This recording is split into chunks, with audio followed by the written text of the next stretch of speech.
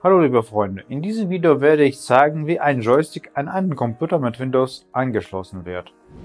Liebe Freunde, wenn Sie gelöschte Daten wiederherstellen wollen, verwenden Sie die Programme der Firma Hetman Software. Folgen Sie dem Link aus der Beschreibung, laden Sie das Programm kostenlos herunter und installieren Sie es. Führen Sie dann die Festplattenanalyse durch. Nach der Analyse zeigt das Dienstprogramm die für die Wiederherstellung verfügbaren Dateien an und Sie können sie rückgängig machen. Unser Blog bietet kurze Tutorials zur Lösung von Problemen, die Windows-Benutzer haben. Auf unserem Kanal und im Blog finden Sie eine Lösung für jedes Problem. Beginnend mit der Installation des Systems bis zur Remote-Verwaltung und Verbinden mobiler Geräte. Unsere Experten beantworten gerne Ihre Fragen in den Kommentaren zu Videos und Artikeln. Moderne Spiele sind auf originelle Gamepads von den Konsolen Xbox One oder Xbox 360 abgestimmt.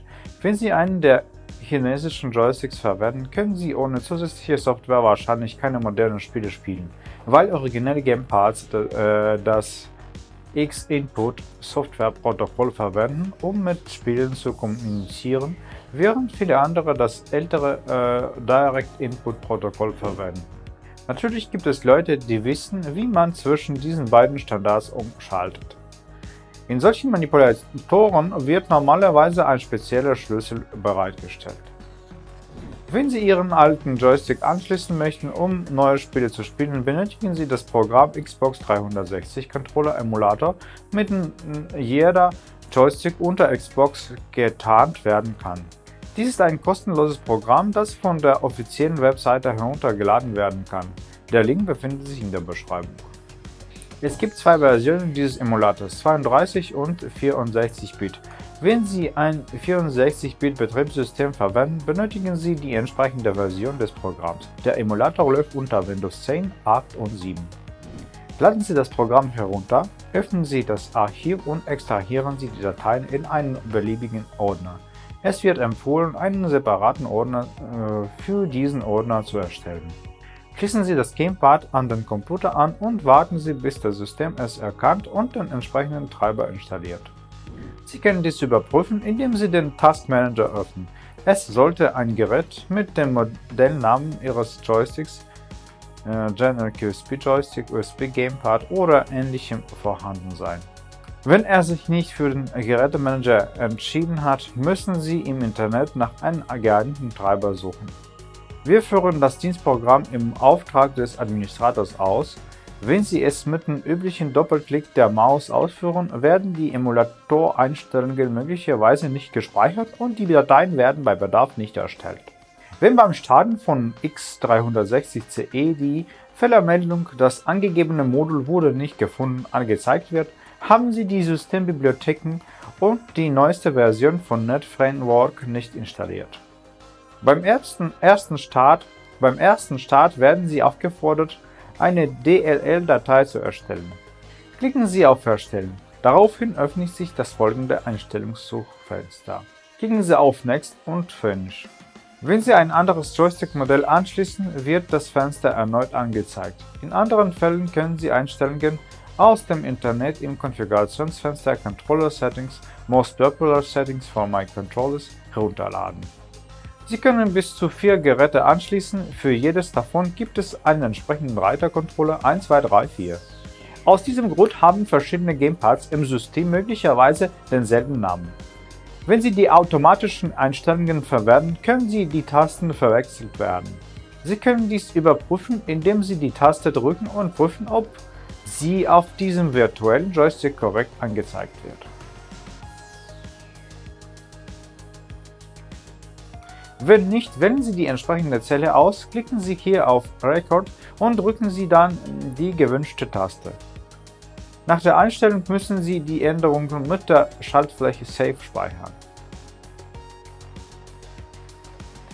Die Empfindlichkeit der Sticks kann in den Registerkarten Left Thumb und Right Thumb mit dem Parameter Sensitivity eingestellt werden. Hier sind die Programmeinstellungen beendet. Klicken Sie auf Speichern, wenn Sie die Änderungen nicht gespeichert haben und schließen Sie das Programm. Im Ordner mit der extrahierten Datei werden zwei weitere angezeigt, die in das Stammverzeichnis des Spielordners kopiert werden müssen. Oder geben Sie in den Einstellungen den Pfad zum Spiel an, klicken Sie auf der Registerkarte Spieleinstellungen auf Hinzufügen und geben Sie den Pfad zum Ordner mit dem Spiel an. Markieren Sie dann hier, welche Version des Spiels Sie mit 32 oder 64 Bit installiert haben. Bei den folgenden Parametern können jedoch äh, Schwierigkeiten auftreten. Sie müssen den gewünschten Parameter mit Hilfe der Auswahlmethode einstellen. Beginnen Sie mit COM und gehen Sie äh, alles abwechselnd durch.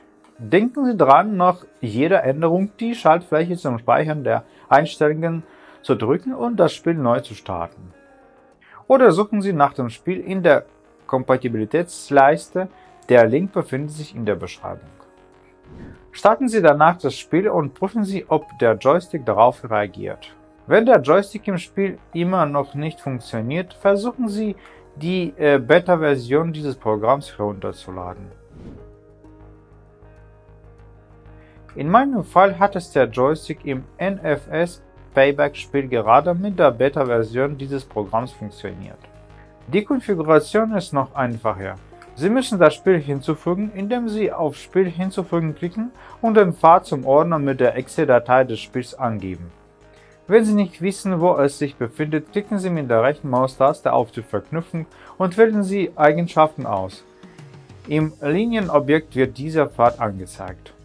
Dann müssen Sie ein Gerät hinzufügen, auf Hinzufügen klicken, unser Gamepad auswählen und auf OK klicken. Nun, es müssen nur noch die Schlüssel konfiguriert werden. Sie können dies manuell oder automatisch tun, indem Sie hier auf Auto klicken.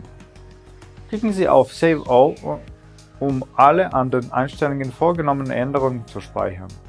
Diese Version des Simulators muss nicht wie die vorherige geschlossen werden, sondern muss nur auf Try minimiert werden.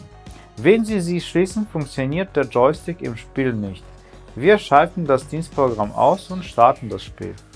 Wie Sie sehen, werden Sie aufgefordert, die A-Taste anstelle der Eingabetaste zu drücken. Der Joystick wird vom Spiel erkannt und reagiert. Das ist alles, was Sie jetzt sicher nicht über die Tastatur, sondern über das Gamepad spielen können.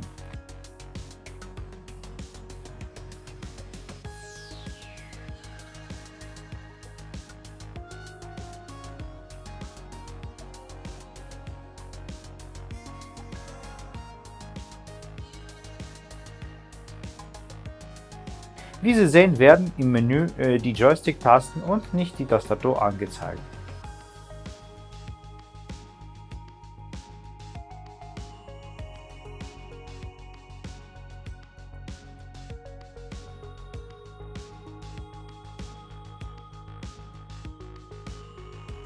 Für ein anderes Spiel müssen Sie die Gamepad-Tasten nicht neu konfigurieren.